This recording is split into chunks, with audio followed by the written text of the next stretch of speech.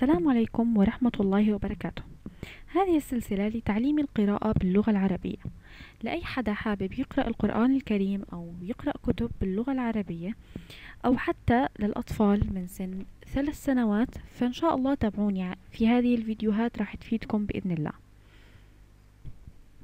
طيب حابة أحكي معكم بالأول عن شغلة اللي هي طريقة توصيل المعلومة. لما يكون في عندي معلومة وأنا حابة أوصلها للطفل فأنا أول نقطة لازم أعملها أفهم المعلومة صح.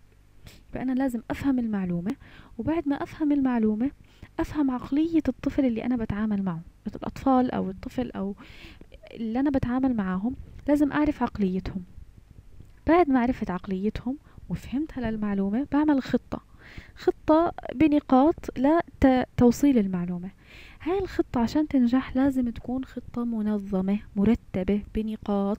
عندي واحد اثنين ثلاثة. النظام أهم شي.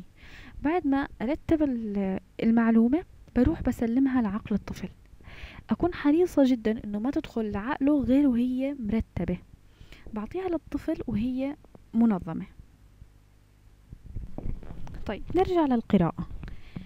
القراءة في أكثر من طريقة لتعليم القراءة. في عنا أول طريقة أو قاعدة القاعدة المكية والقاعدة النورانية والقاعدة البغدادية وفي القاعدة الحلبية قاعدة نور البيان قاعدة نور البيان. طبعا كل هاي القواعد وكل هاي الطرق نتائجها ممتازة جدا بس طبعا هي بتعتمد على المعلم اللي بدرس هاي الطريقة هو وشطارته. القاعدة اللي راح ندرسها إحنا هي قاعدة نور البيان. شو هي قاعدة نور البيان؟ هي خطة منظمة بيتعلم الطفل فيها التهجي أو القراءة بكل بساطة بكل سهولة. علشان أقرأ لازم أعرف صوت الحرف. يبقى علشان الواحد يقرأ لازم يتعرف على أصوات الحروف. طيب شو هو صوت الحرف؟ لما يكون في عنا حرف عليه حركة بعطينا صوت. طيب ناخذ مثال عليه. الحرف مثلا لو أخذنا مثلا الحرف الضاد هذا اسمه ضاد حرف الضاد ضاد. لما تيجي عليه حركة زي الفتحة اسمها حركة الفتحة فتحة اسمها فتحة راح يعطينا صوت ض. إذا لما يكون في عنا ضاد اسمه ضاد وفتحة إجت عليه الحركة فتحة أعطانا الصوت اللي هو ض. طيب كل شيء. إحنا شو خطتنا علشان نتعلم القراءة؟ رح نحط نقطتين. أول نقطة رح ندرس الحروف كاملة مجردة. يعني اسم الحرف. رح ندرس ألف باء تاء. نتعرف على كل حرف شو اسمه. بعد ما تعلمنا اسم الحرف رح ندخل على صوت الحرف. شو هو صوت الحرف؟ يعني الحركات. الفتحة والكسرة والضمة. لما تدخل على الحرف شو بصير صوته؟ يعني لما تدخل الفتحة على الباء بصير باء. لما تدخل الكسرة على الباء بتصير بي.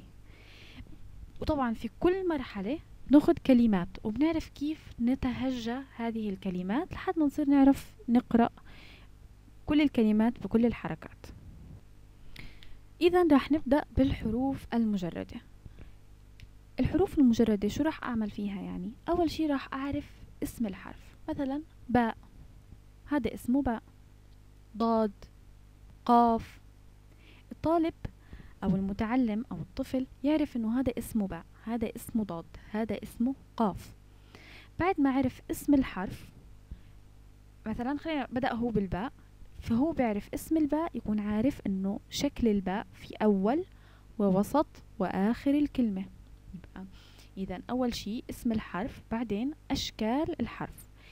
ثالث نقطة لازم يكون عارف أمثلة على الحرف. يعني لما يكون عارف إنه الباء بقرة تبدأ بالباء ضاد ضفدع قاف قرد وهكذا.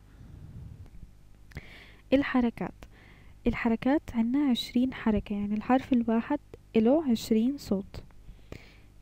لو أخذنا مثال حرف الباء العشرين صوت لحرف الباء با بي بو. با بي بن بن بن. عندنا الحرف الساكن ما بصير يطلع ينطق يطلع صوته لا بدون حرف قبله. فرح نحط قبليه حرف قبله. مثلا لو حطينا الأ هنقول أب. نفس الشي المشدد. أبا أبي أبو أبا أبي أبو أبا. أب أب أب. مبروك عليكم تعلم القراءة باللغة العربية. إن شاء الله تابعوني بهذه القناة علشان نتعلم مع بعض.